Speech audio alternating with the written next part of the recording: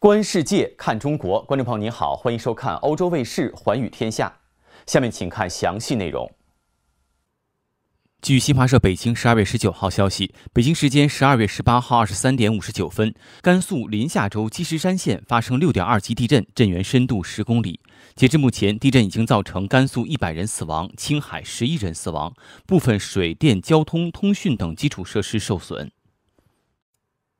在一项由法国共济会进行的调查中，预计2024年法国互助保险制度的附加医疗保险费用将迎来多年来的首次大幅上涨，平均增幅达百分之八点一。这一涨幅将在个人合同中平均达到百分之七点三，而在企业为其员工购买的强制性集体合同中，平均涨幅将达到百分之九点九。这一消息引起了政府的关切，尤其是对于可能对购买力造成的影响。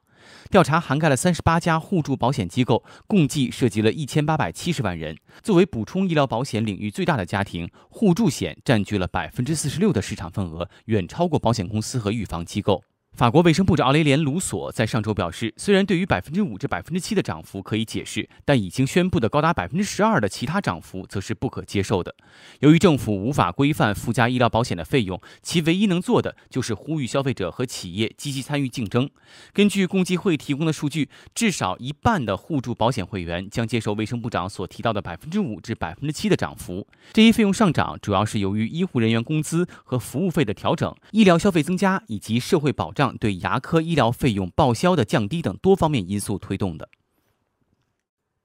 根据俄乌两国官方发布的最新简报，俄罗斯周一声称成功袭击了乌克兰人员和军事装备，而乌克兰则宣布拦截了俄罗斯导弹。俄罗斯国防部的报告称，在过去的二十四小时内，俄罗斯军队在库皮扬斯克和克拉斯尼利曼方向成功击退了乌克兰的二十六次进攻，摧毁了乌克兰的两辆坦克、八辆步兵战车、五辆装甲战车、三辆火炮以及其他军事装备和设施。报道称，俄罗斯防空部队还拦截了二十五架乌克兰无人机和两枚由海马斯多管火箭炮系统发射的火箭弹。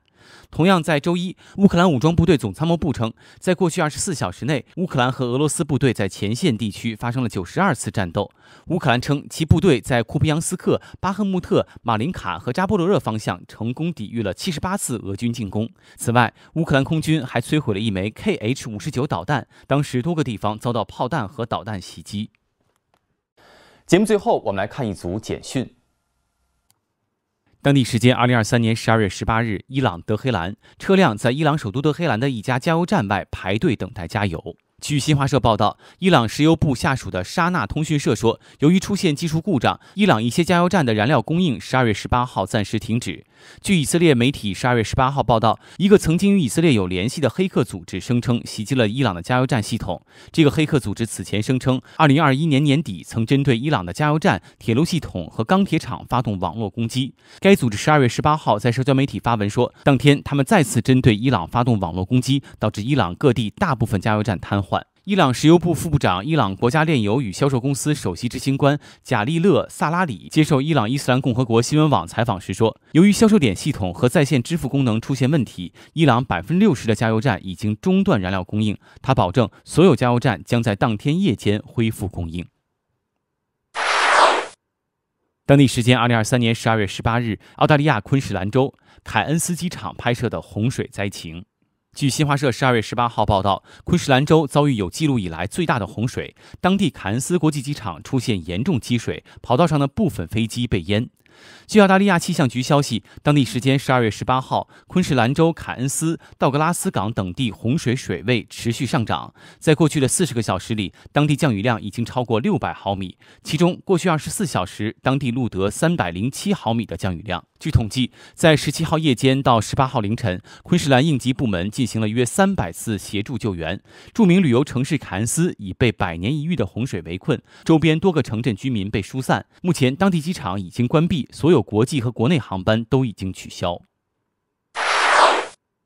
当地时间二零二三年十二月十八日，几内亚科纳克里燃油仓库火灾现场。据新华社报道，科纳克里一处大型燃油仓库十八号凌晨发生爆炸，并引发火灾，大量建筑物和车辆被烧毁。爆炸发生后，相关专业机构立即投入救援工作，以控制火势并最大程度减少损失。燃油仓库爆炸事件已经造成十三人死亡，另有一百七十余人受伤，绝大部分伤者已被送医，其中八十九人在接受治疗后出院。几内亚过渡政府发表声明说，科纳克里除国防安全部门和医疗行业外，其余公共和私营部门工作人员都将保持居家状态，所有学校、加油站都将关闭。政府将对事件原因和责任人展开调查。